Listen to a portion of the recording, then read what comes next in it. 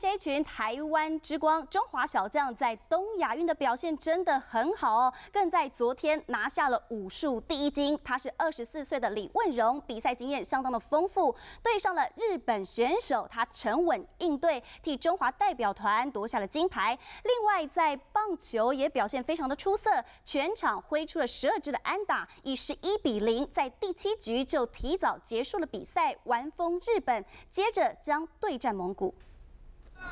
场上白色球衣中华队一上场就给对方下马威，一局下就得三分。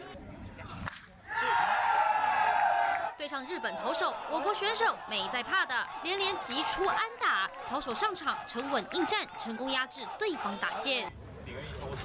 比赛才到第四局，中华队已经进账十一分，日本无力反击。比赛在第七局提早结束，中华队以十一比零大胜日本。赛后球员接受访问，主要就是为球队有付出这样子。对啊，其实我们步步为营啊，一直不敢大意，因为我们在我们的想法里面，投手呃日本的投手都在水准以上。今天整场比赛看起来，投手以及打者的表现都无懈可击。不过除了棒球，这个女生更是不得了。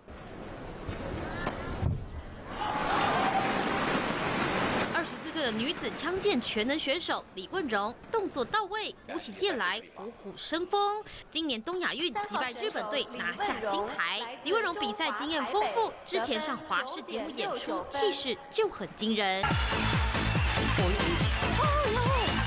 有武术美少女的封号，是最可爱的台湾之光。记者朱伟自张维根台北报道。